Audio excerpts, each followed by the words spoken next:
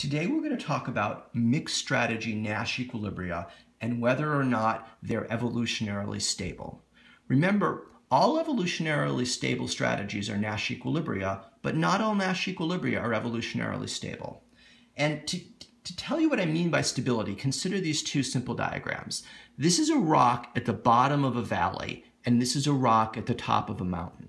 Now, this is stable to sort of external winds. You've got a rock at the bottom of a valley, and there's winds that push it up, well, it'll come back down again, you know.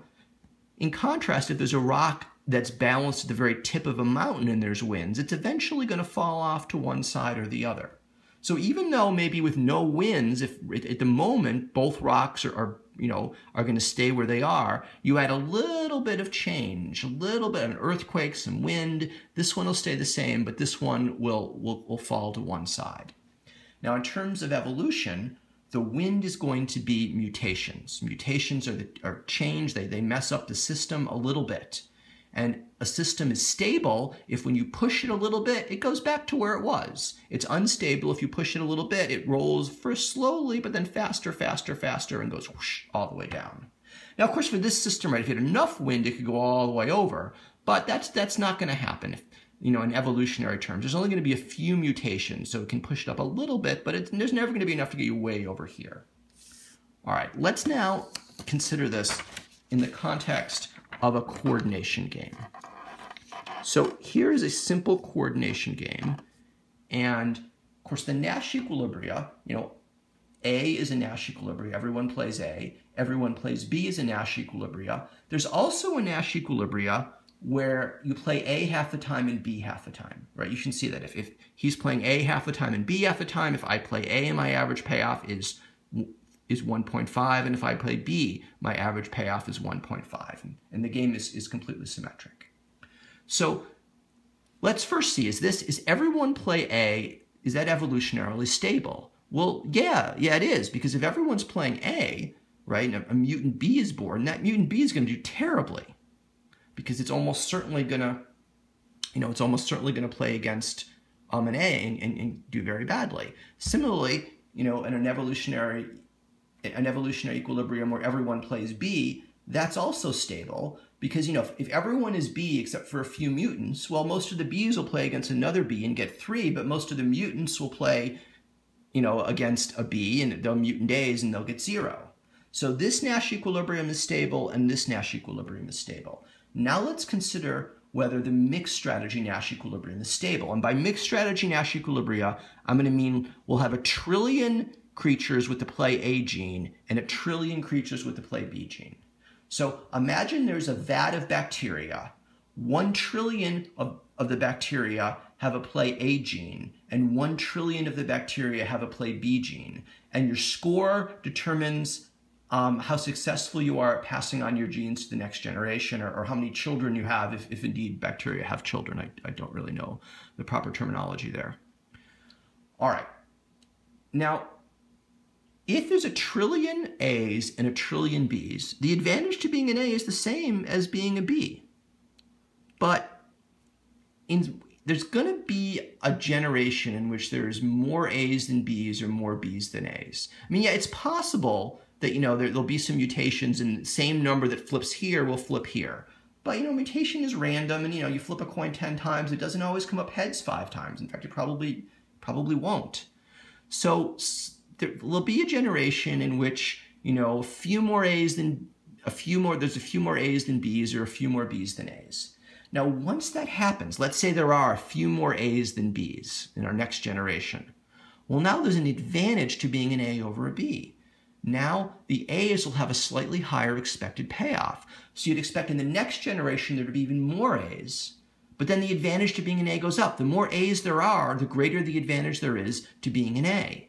And so, you know, as there are more A's that are that are in the next generation, the advantage to being an A keeps going up and up and up. And as it, you know, as the number of A's goes up, the advantage to being an A goes up, and eventually this, you know, pretty much everyone will be an A except for a few mutants. So this the ball will roll all the way down the edge.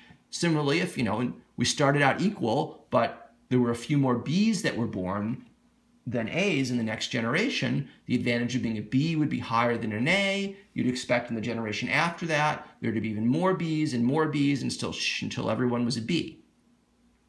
Now, to go back to our prediction, if we started with a vat that had a trillion A's and a trillion B's and they were playing this game, I think you could predict come back in 20,000 generations, you know, it, it won't be, you won't have a mix. It'll be all A's or all B's with, course, always a few mutations. So I say that means diversity is bad. This is a game where diversity is bad. Diversity is bad means you want to be with people like you right? If everyone is an A in this game, you want to be an A. If everyone is a B in this game, you want to be a B. In general, if you're looking as to whether a mixed strategy Nash equilibria is stable or not, if diversity is bad, it's not stable. If diversity is bad, you're, you're, you know, if there's a little bit of disturbance, some mutations will push you to an extreme. Okay. Let's take a game, though, where the mixed strategy Nash equilibria is stable or diversity is good. Now, here is sort of a, a, a chicken game. You can imagine there's, there's, two, there's two things you can do.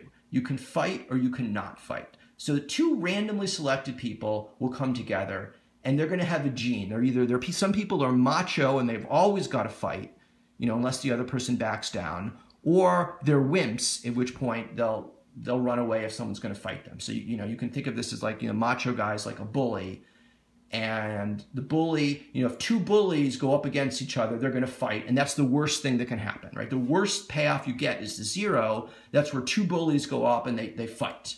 The best thing that can happen is if you're a macho bully and you run into a wimp. You're like, hey, give me your lunch money. You know, you get three. You know, yay for you.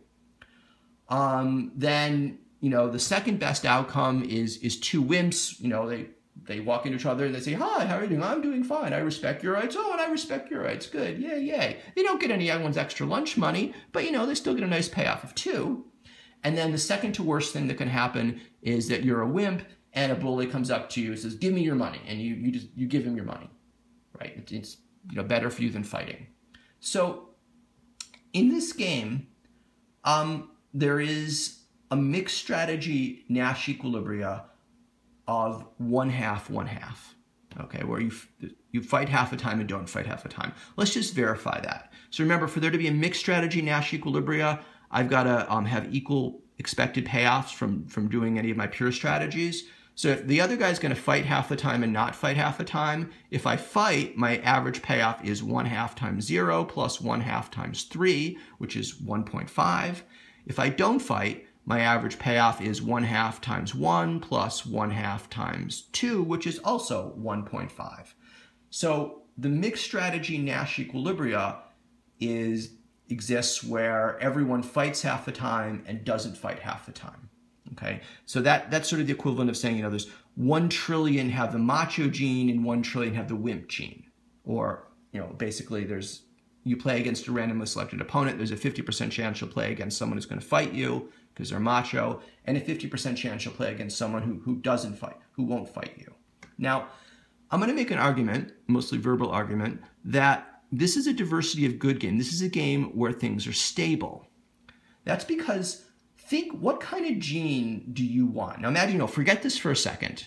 You're trying to decide, okay, I get to pick the, the gene for my kids. And you know, I just want my kids to get a high payoff. You know, if they wouldn't bother me morally if they're a bully or if they ran away, I just care about their payoff. So, you know, you don't know about this. What would you say? Well, you'd say, okay, if you know what, if this is a world where almost everyone is macho, well, I want my kid to to run away. I want my, my kid to be a wimp, right? Because if you know what almost everyone is macho, well, you're much better off being a wimp. But if it's a world where almost everyone's a wimp, you'd rather be macho. So you see, diversity is good in this kind of game. Because you know the worst outcome is where two macho guys get together because they'll fight and they'll hurt each other. They won't get any payoff. They won't get any food.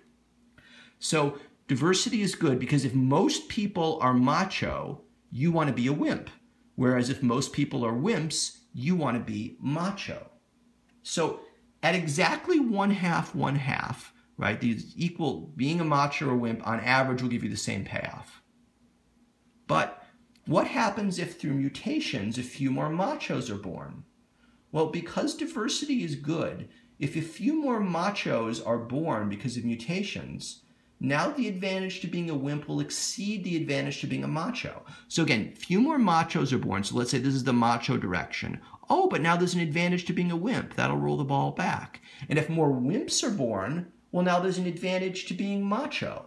So the payoffs here, because diversity is good, they're going to push you back. If there's, you know, if there's one generation, there's significantly, you know, there's there's more machos than wimps.